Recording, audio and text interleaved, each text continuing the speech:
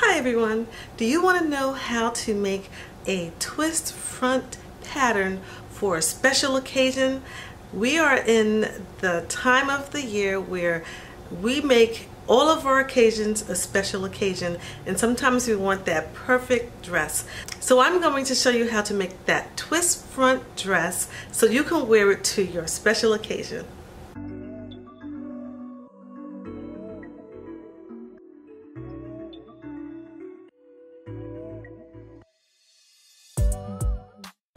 Hi, I'm Aletha of Ribbons and Zippers. Thank you for stopping by. If you're new here, welcome, welcome. I am going to show you today how to create a pattern for a gorgeous twist front dress. So I've created this gorgeous pattern. This is the mock-up and I drew out the pattern on paper. So here I have this beautiful dress it is an inspiration from a dress that I saw on, I think it was Anthropologie. And I just love the two-tone design. And it actually is a twist front.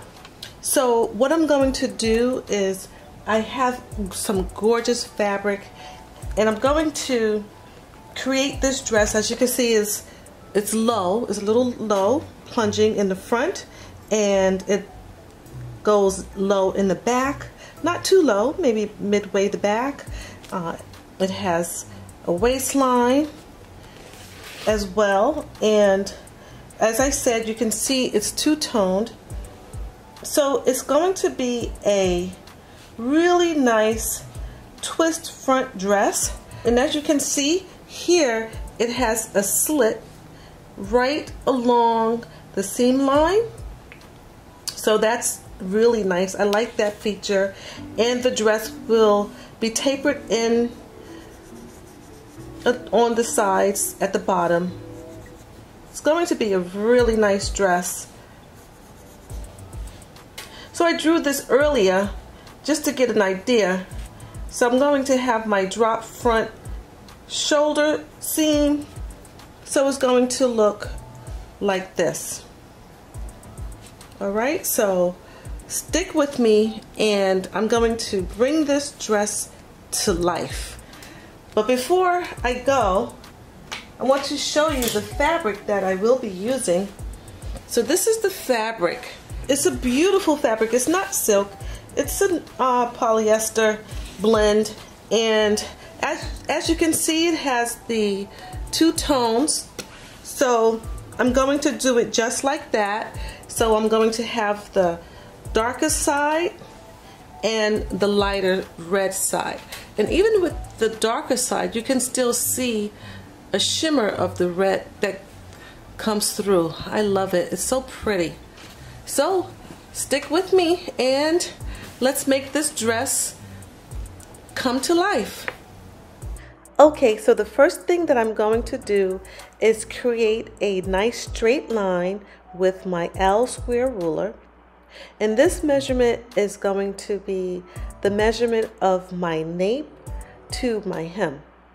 So from my nape to my hem is going to be this the line that I'm going to create. That's the measurement.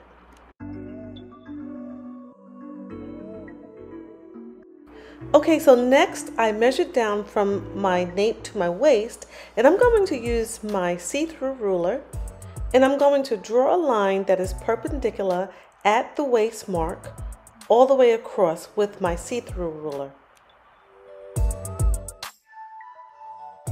The next point is the measurement from my waist to my hip and then again with my see-through ruler I'm just going to square over a nice straight line for my hip line perpendicular to my center front line. Okay, so my next measurement is from my waist to my knee and I'm going to add another one inch and that's going to be my hem. So I'm going to use my see-through ruler again and square over for my hemline. Okay, now I'm going to go up to the top and I'm going to draw in my neck and draw in my shoulder. Okay, so my next measurement is going to be my bust measurement. So that's going to be a quarter of my bust measurement plus another eighth of an inch. Normally this would be my chest measurement, but because of the design of the dress and because I'm going from my center front all the way to my side seam, I'm making it my bust measurement, which is a quarter of my bust plus another one eighth of an inch. Now let's move down to my waist. And this is a quarter of my waist plus another eighth of an inch. Next is my hip which is a measurement of my hip divided by 4 or a quarter of my hip plus I'm going to add another eighth of an inch for my hip as well.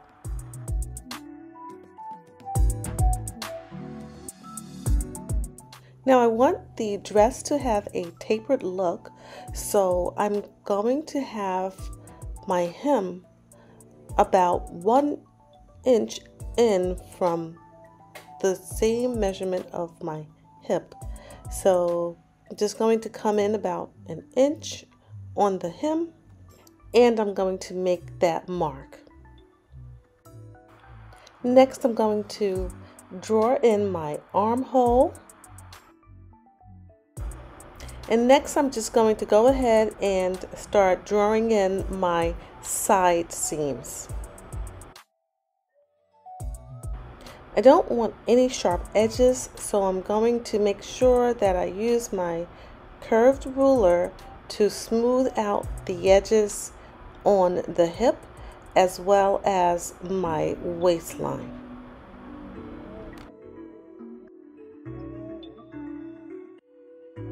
Okay, along the front of the dress, I'm going to have to do a slash and spread method to get the twist look. It's going to drape along the front and it's going to have the twist. But before I do the slash and the spread, I am going to go here at my waist and extend it out three inches. And then I'm going to come back and show you how that looks.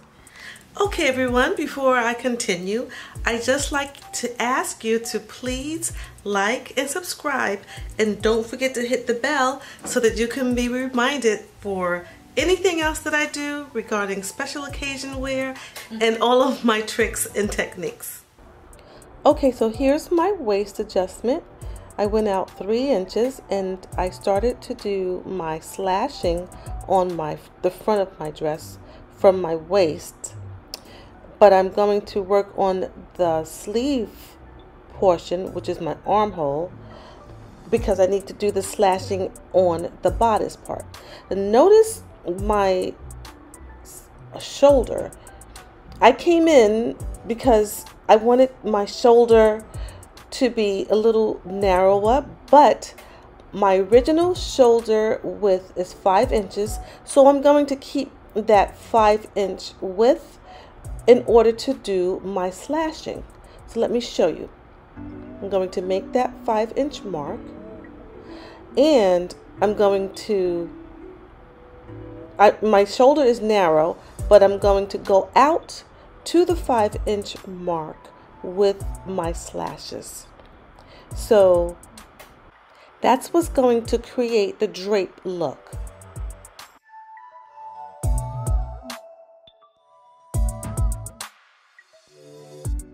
Okay, so I created a new center front line and I'm going to go ahead and slash my pattern all the way to but not through and spread out my lines. I have my notches and I'm going to slash and spread this pattern.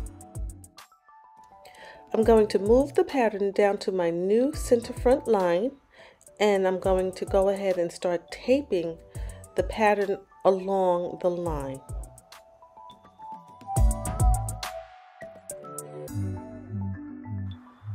Once I'm done taping, now I need to slash my lines all the way to the end, but don't go through. So all of this is going to be slashed and spread out evenly and I'm going to use my scissors to cut each line.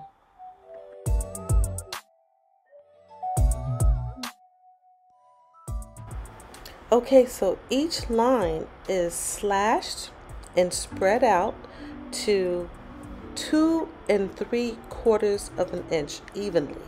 So I measured each line from tip to tip and it's two and three quarters of an inch and I'm going to just keep slashing and spreading and moving them out two and three quarters of an inch until it's all done it's going to be nice and even and it's going to be a perfect slash and spread pattern. Okay, so now that I have my front done, it's time to create my back, the back of my dress. And it's simple, just like the front. I'm going to do my neckline, my shoulder, my bust, my waist, and my hips according to my measurements, the same way we always do. And then I'm going to go ahead and add my seam lines and um, make sure it matches up to my front. Here I have my patterns, my front and my back, and I've did all of my adjustments. I've added my waistline for the back, which is very important. I don't want to have a full dress because it won't look right because there's a seam in the front. So now when I put it together and twist the front, the front seam and the waist back seams will all match together. And I made all of the adjustments that I like. I narrowed my back by bringing in my armhole so that it's not too full. I created my shoulder it's nice and narrow. My back is narrow. Everything is just like I like it. So now I'm going to go ahead and lay it out, cut it out, and try it on. And maybe I have to make some more fit adjustments, but we'll see. I like the way that it looks and feels. It's fitting perfectly. All I have to do now is just add the V in the back and I like it. Okay, I am all done with my pattern and my mock-up. I have altered my dress. My fitting is perfect. My neckline is perfect. My back is perfect. There was uh, too much fabric in the back. It was bunching, so I took that out and I created a new line here. So now what I'm going to do is I'm going to go ahead and create my V in the back, lower my back neckline, create my V, and I'm done.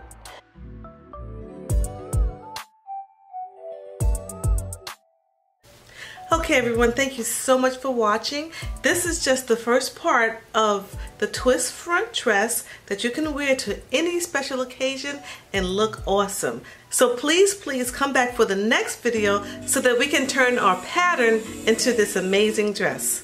Thanks for watching.